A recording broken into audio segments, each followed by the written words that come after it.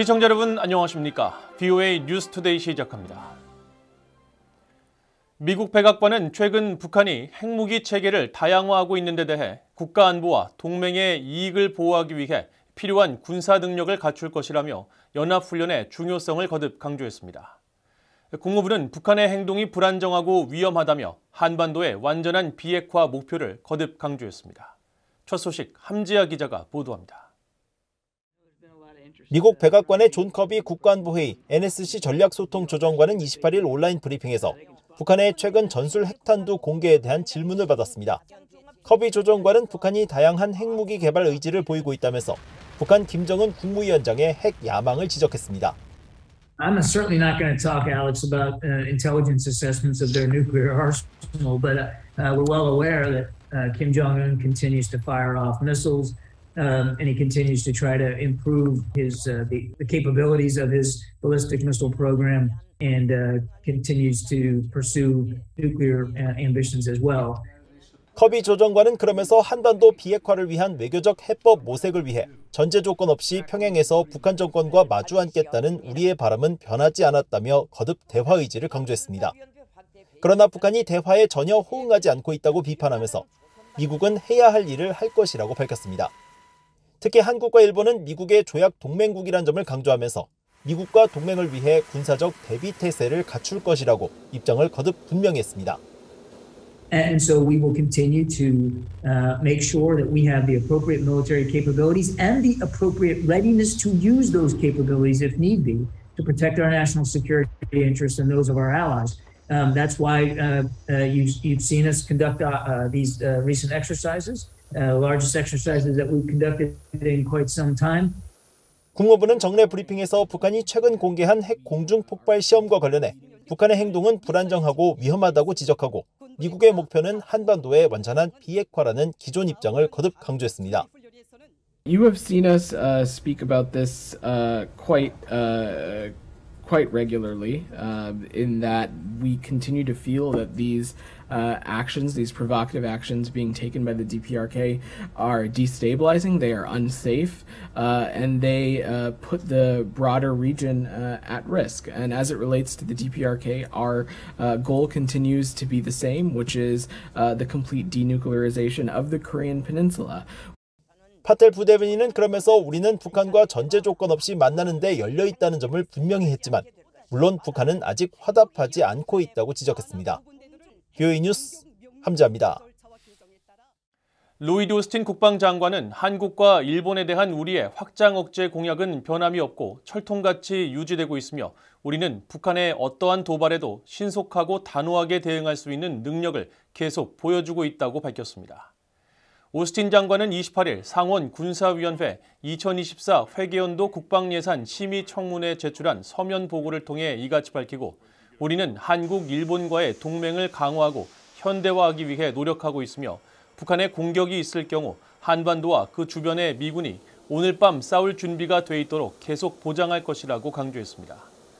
마크 밀리 합참 의장도 청문회에 출석해 북한의 계속되는 탄도미사일 실험과 핵무기 개발은 미국과 동맹국들의 위협이 되고 있다면서 그러나 우리는 70년간 그랬듯이 북한의 공격을 억제하기 위해 한국과 어깨를 나란히 하고 있다고 강조했습니다. 미국 국방부는 최근 한국 성주의 고고도 미사일 방어 체계 사드 기지 정상화 움직임과 관련해 지난해 11월 제54차 미한 안보협의회 공동 성명을 상기시키며 양국 간 긴밀한 협력 약속을 강조했습니다. 존 서플 국방부 대변인은 29일 VOA에 관련 서면 질의에 미한 국방장관이 당시 성명에서 사드 포대가 성주의 캠프 캐럴에 안정적으로 배치될 수 있는 여건을 마련하기 위한 한국의 노력을 인정했다고 전했습니다. 이어 두 장관은 사드 기지에 대한 일상적이고 자유로운 접근의 정상화를 위해 긴밀한 협력을 지속하기로 했다고 강조했습니다. 앞서 주한미군은 지난 24일 성주 기지에 사드가 배치된 이래 처음으로 기지 밖에서 발사대 전개 훈련이 진행됐다고 밝혔습니다.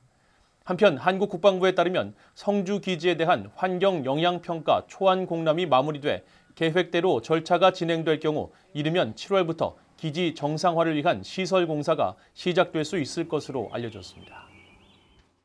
유엔 인권기구가 북한의 강제 실종 범죄를 종합적으로 분석한 새 보고서를 통해 진실과 정의, 배상, 재발 방지 노력을 촉구했습니다. 피해 당사자와 가족들은 오랜 세월 감내해야 했던 아픔을 증언하면서 사랑하는 가족들의 생사라도 확인하고 싶다고 호소했습니다. 김영권 기자가 취재했습니다. 유엔 인권 최고대표 사무소가 28일 공개한 북한에 의한 강제 실종과 납치 범죄를 다룬 보고서 아물지 않은 상처입니다.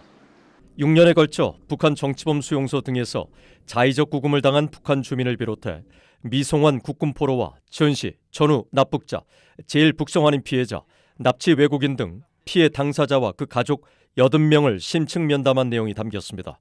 특히 북한 내 강제 실종 피해자 가운데 다수는 관리소로 알려진 정치범 수용소 등에 구금된 뒤 연락두절 상태로 고문을 당했으며 이중 일부는 가족에게 어떤 정보도 제공되지 않은 채 직결 처형을 당했다고 보고서는 밝혔습니다. 피해자 가족들은 정신적 피해와 심리적 고통뿐 아니라 경제적 타격, 빈곤과 차별 위험에 노출되는 등 어려움을 겪었다고 증언했습니다. 그 북한에서는 국군포로 단위에 대한 그 학대는 말로 다 표현할 수 없었습니다. 그때가 제가 그 학교를 졸업하니까 그 직업에 대한 선택권도 우선 없습니다. 그 국군포로 자식은 무조건 그 아버지를 따라 그 탄광에 들어가서 그 일을 하게 되었습니다.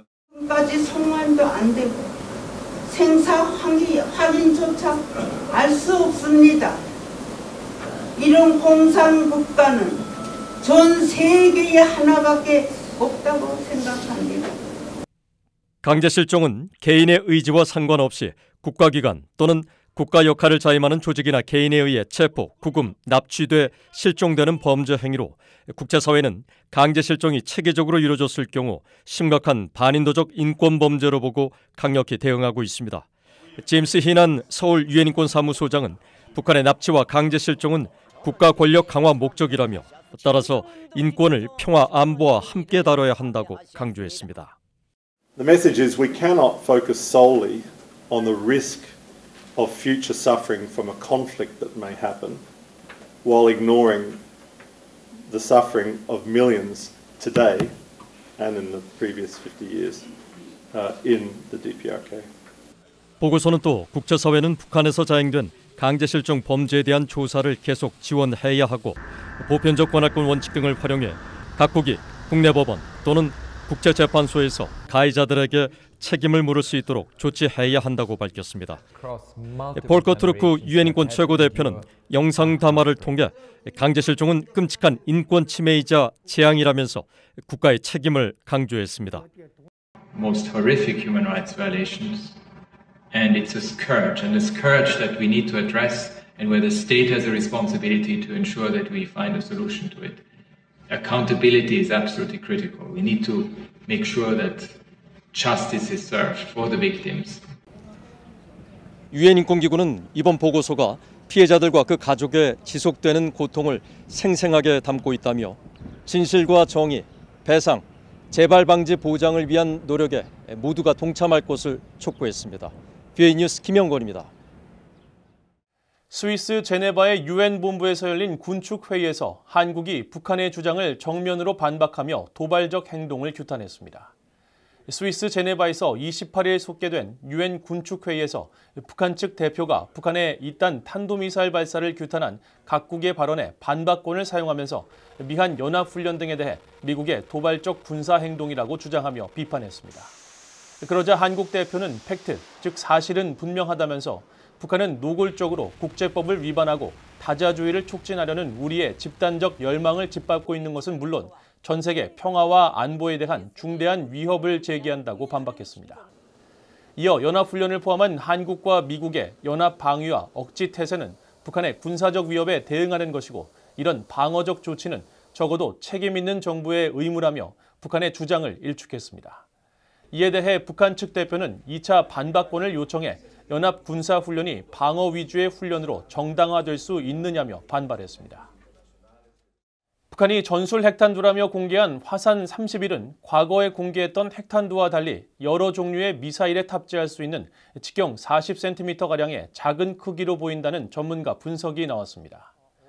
올리 하이노넨 전 국제 원자력기구 IAEA 사무차장은 28일 북한의 전술 핵탄두 공개와 관련한 VOA의 질문에 지난 2016년 디스코볼로 불렸던 북한의 첫 핵탄두와 비교하면 이번 것은 한 걸음 더 진전된 것으로 보인다면서 사진 속 김정은의 신체를 기준으로 볼 때 화산 31은 단거리 탄도미사일과 수중드론, 심지어 최근 몇 주간 북한이 시험한 전략적 순항 미사일에도 탑재할 수 있는 크기로 보인다고 설명했습니다.